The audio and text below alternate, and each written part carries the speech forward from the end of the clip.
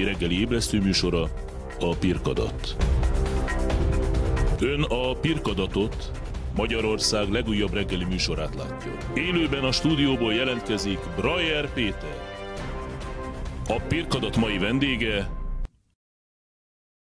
Stúdiónk vendége Kovács András, az Origo főmunkatársa. Szia Andris, jó reggelt, Jó reggelt kívánok. kívánok.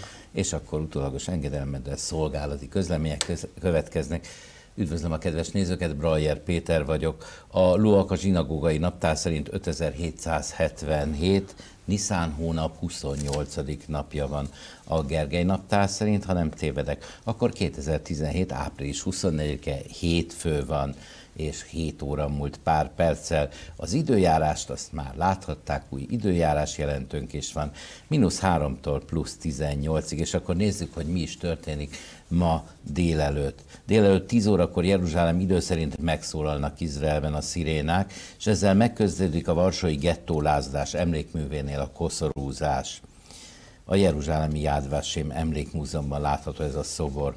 Tegnap este megkezdődött az emlékezés a holokaszt áldozatainak 6 millió áldozatára, közöttük 600 ezer magyar zsidóra is. Majd ma délelőtt a szirénák után és a koszorúzás után az izraeli parlamentben és a központi épületekben megkezdődik egy olyan emlékezés, hogy minden áldozatnak van neve, azaz a 6 millió nevet megpróbálják felolvasni. Ezzel próbálkoznak minden évben, majd délután kettőkor megkezdődik az életmenet, mely 41 ország képviselteti magát közöttük népes magyar delegáció is, és akkor most nézzük meg Andissal, hogy mit is írnak a mai lapok. Az Izrael hajom természetesen arról beszél, hogy az izraeli vezérkari főnök, izraeli katonák delegációval úgy szintén ott lesz az életmenetén, mégpedig izraeli katonai egyenruhába. Ezzel is jelezve azt, hogy ami megtörtént, akkor soha többé nem történhet meg. És akkor nézzük gyorsan, Andris, ö, ezekhez van valami hozzászólni valód, vagy mehetünk tovább? Mehetünk tovább. Mehetünk tovább. Nézzük akkor a magyar időket, konzervatív közéleti napilap, címoldalon természetesen Le Pen és Macron csörte az Elizé palotáért. Te mit borítékoltál? Te is arra számítottál, hogy ők ketten fognak a második fordulóba bekerülni? Minden közvéleménykutatás azt jósolta, hogy ők állnak az első két helyen. Ugye a vita nagyjából arról szólt itt az első előttünk lévő, het, a mögöttünk hagyott hetekben, hogy vajon tévednek a kutatók vagy nem. Most úgy tűnik, hogy sőt, látszik, hogy nem tévedtek, gyakorlatilag hajszál pontosan eltalálták a végeredményt. Ugye 23-21 arányba győzött Macron az első fordulóban. Várhatóan, várhatóan ő is lesz Franciaország következő elnöke, ezzel el is dölt, mivel az összes kieső jelölt arra szólította fel a híveit, hogy szavazzanak rá a második Hát aztán fordulóban. majd meglátjuk, mert ö, akkor, amikor a pártelnökök a híveket felszólítják, azért azok nem katonás rendbe állnak be mögé, úgyhogy még mindig nincs kizárva, hogy esetleg ö, Le Pen kerül az Elizé palotába. Ankara ultimátot adott az Uniónak. Itt volt stúdiónkban ö, több török szakértő, és a héten még itt lesz Hóvári János is, és megbeszéljük majd velük, hogy mi is történik Törökországban. Te egyáltalán érted, hogy ott mi történik? Szultán lesz az elnökből? Azért ezt nem mondanám. Érthető, aki figyeli Törökországot hosszú évek óta látja, hogy Erdogán arra törekszik, hogy minél több hatalmat ugye összpontosítson a saját kezében, azonban, ha megnézzük a, mind a népszavazás eredményét, mind a pártok támogatottságát, azért 2019-ben történt meglepetés Törökországban, hogyha mondjuk nem sikerül átütő gazdasági növekedést elérni a következő években, nem sikerül azt a reálbér és életszínvonal javulást felmutatnia Erdogánnak, mint mondjuk 2002 és mostani 2017 közötti időszakban, akkor azért van esélye az ellenzéknek, hogy leváltsák 2019-ben. Én egyáltalán nem zárnám ki ezt a lehetőséget. Megnézzük. Elmaradt az ellenzé- ellenzéki fordulat, írja a Magyar Idők. Itt az előrehozott helyhatósági választásokról van szó.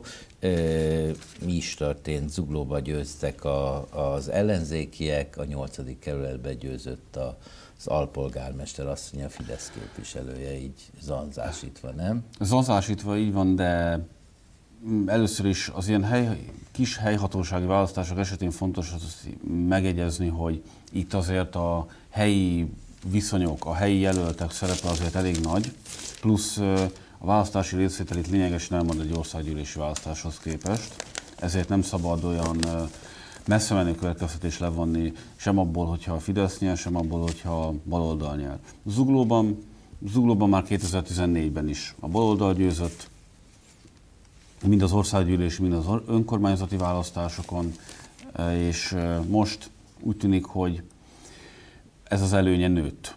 Nőtt a baloldalnak abban a körzetben, ahol a választás volt. Ez részben véleményem szerint annak is köszönhető, hogy a Fidesz nem biztos, hogy a megfelelő jelöltet állított. Én helyből közelről láttam ezt a kampányt, mivel majdnem abban a körzetben lakom, és meglehetősen aktív, aktív és sok esetben, amit a választási feljelentések is mutatnak, nem biztos, hogy a baloldal mindig a megfelelő megpróbálta kihasználni azt a jogi lehetőséget egy kampányba, amit minden párt kihasznál, hogyha győzni akar. Hát de viszont ha megnézed a nyolcadik kerületet, hogyha összefogott volna az ellenzék, akkor, akkor ők győztek volna. Tehát ez tulajdonképpen mikróba a, a lelete annak, hogy az ellenzék, ahelyett, hogy összefogna, ugyan én nem a tisztem, hogy tanácsokat mhm. adjak nekik, de számszagilag, ha megnézzük, akkor győztek volna. Számszakilag igen, de nem tudjuk, hogyha hogyha nem indul valamelyik előtt, akkor mondjuk az ő hívei közül kiment volna a másikra szavazni. Zuglóban jól láthatóan a kisebb baloldali pártok nem igazán tudtak labdába rugni, bár a két farkú párt nagyon jó eredményt elért, megelőzték az LMP-t is, de ott is látható volt, hogy a, akik a Fidesz ellen szavaznak, azok nagyjából egy irányba voksolnak. Ez mondjuk... is hagyjuk ezt Deák Danira, Igen. hamarosan itt lesz a Nézőpont intézet elemzője, viszont azt nézzük meg, hogy csak kuriózumnak, hogy viszont a munkáspárt mind a két helyen hat szavazattal jutott be, pedig olyan cukik, hát nem kár értük, hogy csak hat ember tudnak mozgósítani? Munkáspárt minden időközi választáson gyakorlatilag elindul 2014 óta, a kis falvaktól kezdve a nagyvárosokig, és mindig ilyen egy-két szavazatot kapnak, bár volt rá példa az, hogy nulla szavazatot kaptak egyes kis faluban, úgyhogy valószínűleg még a jelölt se voksolt saját magára. Hát díjaz, mire... díjaz, díjazzuk a próbálkozásokat. Nézzük a népszavát, úgy látszik a lapok összebeszéltek teljesen, nem, nem, a magyar hírlap az nem, Igen. az más. A népszava oldalán, természetesen a franciaországi első oldalán, a címoldalon Macron és Lepen az élen, hatalom Na nézzük csak, a hatalom szemébe nevettek a gúnymeneten. Húha, de érdekes szím ez. Olvas csak, te, lehet, hogy én teljesen diszlexiás vagyok ma? A hatalom szemébe nevettek a gúnymeneten. Ez, ezt a két kutyapárt tartotta a hétvégén egy ilyen a békemenetet kifigurázó rendezvényt. Úgy tűnik, hogy ők Budapesten komoly tényezők lehetnek ugye 2018-ban akár, hogyha Meg fogják előzni a munkáspártot. A munkáspártot biztosan, de most úgy tűnik, hogy az uglói példa alapján lehet, hogy Meg fogjuk is. kérdezni, mert hogyha jól látom, akkor Kovács Gergely a stúdiónk vendége lesz, és megkérdezzük őt. Hát természetesen a fricska menet kinevette a hatalmat, ez a belső oldalon is, fölényes baloldali győzelem zuglóban, totális agygyűjtés kezd a KSH, nehéz brüsszeli hét vár Orbánékra. Aha, akkor most hmm. már értem. Tehát a különbség az, hogy a magyar hírlap ezt címoldalon hozza, addig, Igen. ameddig a népszavánál ez bent van. E, sorosozás van? Á, persze, hogy van. Akár sorosozhatunk is egy nagyot. Bánya nélküli bányászfalu. Ez hol van ez a bánya nélküli? Egercsehiben. Na mesélj nekünk erről az Egercsehiről valamit. Hát a településén konkrétan nem is csak a cikket futottam át. Hát ez, ez egy klasszikus, sajnos klasszikus magyar történet. A bánya azokban a részekben, korábban a bányászat virágzott, hogy ugye 1990 után a gazdasági okok miatt ugye ezeket a bányákat bezárták, és azóta is se sikerült megtalálni azt a új foglalkoztatót, ami, ami képes kiváltani a elvándorolt, vagy éppen a hosszú ideje munkanélküliségben lévő embereknek a helyzetét. Itt a, ezennek kapcsán azért vannak sikeres próbálkozások.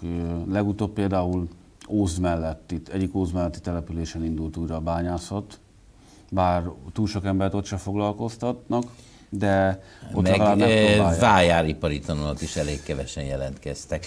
Na, akkor fejezzük be a, a mai sajtószemlét szerintem egy kulturális hírrel, ez itt az én hazám. Nem minden nap történik meg, hogy egy pártházból színház lesz. Tegnap Janakovszki Éva 91. születésnapján a 6 kerületi Jókai utca 6 szám alatt megnyílt Budapest legújabb főként gyermekprodukciót játszó színháza, Hátszínteátrum. Örömteli esemény, remélem majd én is a kislányommal el tudok majd menni egyszer, hogyha még akkor is meg lesz ez a gyerekszínház. Valóban furcsa történet ez, hogy az egykori MSZP székházból most már egy kulturális központ lett. Azt sajnálom, hogy a köztársaság tér, ami az elmúlt években nagyon szépen megújult, mindent kicseréltek, az épületeket felújították, és sajnos ott áll, ott van a Egy memento. egy mementó, a volt, volt budapesti MSZNP központ, és Abból is jó, lehet egy jó lenne, hogyha sikerülne megoldást találni arra. Ugye ez nem az önkormányzat hibája, hogy nem újították föl, hanem ugye a tulajdonos, a tulajdonos gyakorlatilag eltűnt, senki nem gondozza azt az épületet, csövesek, hajléktalanok, nagyon lepusztult állapotban van az egész épület, úgyhogy reméljük, Hát hogy ilyen egy, idővel... párt, ilyen egy pártközpontnak a sorsa, és akkor most egy kis előzetesek, és utána Deák Daniel, az elemző, elemző a Nézőpont munkatársa lesz stúdiónk vendége, és hogyha ma nekem úgy tűnik, hogy vagy a metrók megint valami baj van, vagy a város be van dugulva, és hogyha késnek a vendégeink, akkor visszatérünk a lapszemlére. Iráig tartott akkor ez a gyors lapszemlem, és akkor most előzetes, és már is itt van ö, Deák Daniel, a Nézőpont munkatársa.